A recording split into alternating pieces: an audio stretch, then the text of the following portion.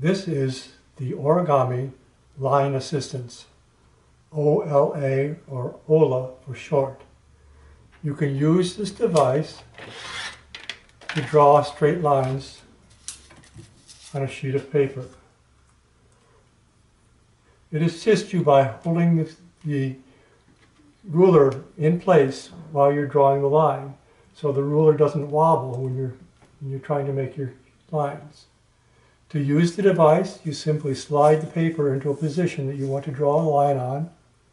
Here I want to draw a line from this corner to this corner.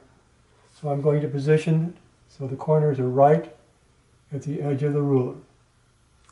I then rotate the device to a comfortable position to, so that I can draw the line.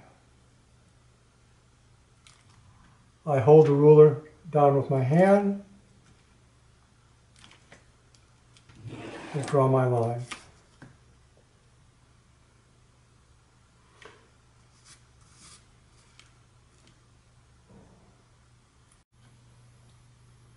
You could also use OLA to help fold a sheet of paper. For example, if I wanted to fold this sheet of paper in half, I would line the sheet of paper up with a ruler, just touching the ruler. I would rotate the, the device to a comfortable position for making the fold. This may be different for each individual. I like to have it folded here. This is comfortable for me. I'm going to make this line touch this line to fold the paper in half. I bend the paper around without making any creases and touch the ruler on the bottom and make sure the edges are lined up along the sides. I then wipe down to the center, wipe off to the side, and we've made a very accurate fold in half.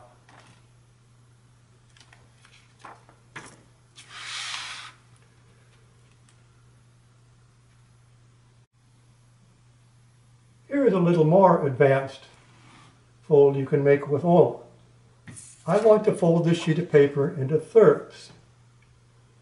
To do this, I'm going to, to first fold the paper in half or draw a line in the midpoint. So I'm going to start by folding the paper in half.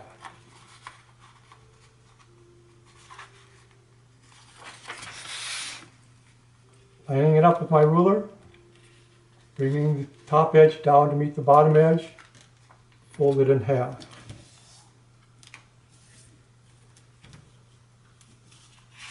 I also want to be able to see that, so I'm going to draw a line where I have that fold. Remember, my objective is to fold this paper into thirds. I now make a diagonal line that goes from one corner to the other corner. So I line it up, my ruler, move it into a comfortable position, make sure it's all lined up.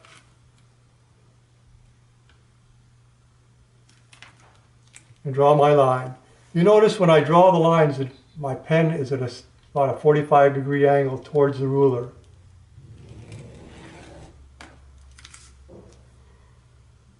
Next, I want to make a line from this position to this position.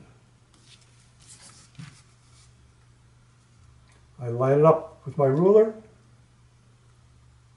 making sure that it's lined up here and lined up here at the point and here where the line touches. And I draw a line. Now we're ready to fold the paper into thirds. Let's take a look at this. This line divides the paper into two halves. There's one half, there's one half. This is the diagonal that divides, also divides the paper in half. One half this way, one half this way. Since this line doesn't go through the center, it doesn't divide the paper in half. However, where these two lines touch, right here, can be used to divide or fold the paper into thirds.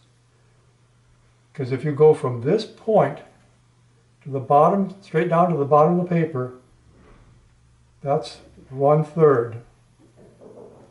From this point to the top of the paper, it's two thirds.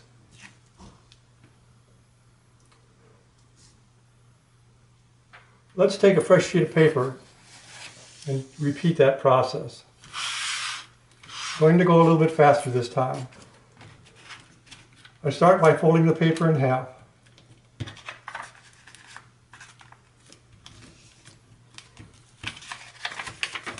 I draw my line where that fold is. I draw a diagonal line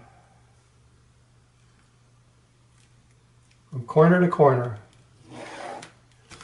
I draw another diagonal line from where the line touches down to the corner.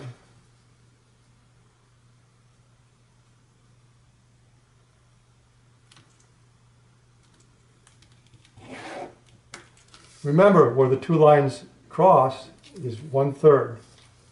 Now I'm going to use my special device to, to fold down one third. I'm going to bring this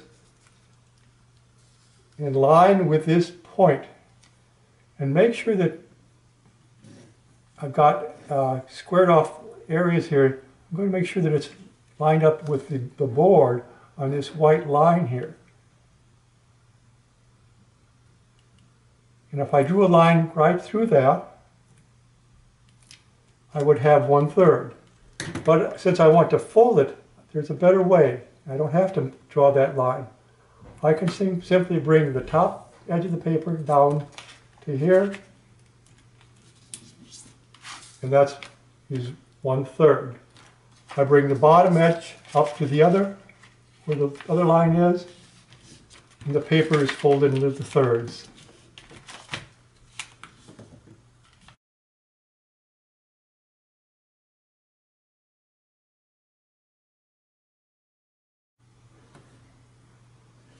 Let's look at the parts used to make the origami line assistant. You will need a stiff but thin mat or board. You could use an old Cricut cutting board mat. That's what I used, used here. This is a very old mat, well worn, no longer used, used for cutting on my Cricut machine. And the cover for that mat. It, it has some advantages over other types of mats. But you could also use a standard cutting mat like this.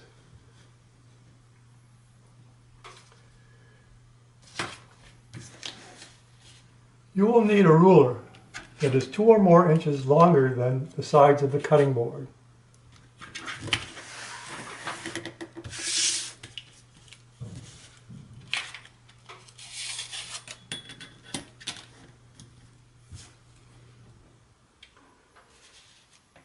To hold the mat, I will use a small cardstock rectangle. This is one rectangle right here. It is simply folded around this longer strip of cardstock. Here's the other piece. And it simply loops around and is locked in place so it doesn't come apart. It is assembled without glue. This long piece of, this long rectangle is folded in a way that the ends will stop at a certain position when the ruler is in place. You simply slip your ruler into the two little loops.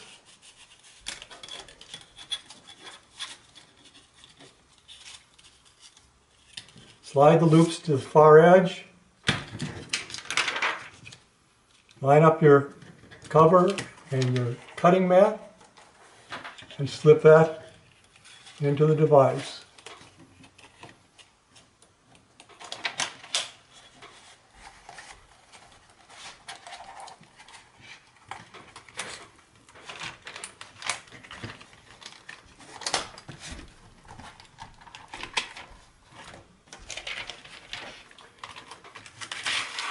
and you're your folds.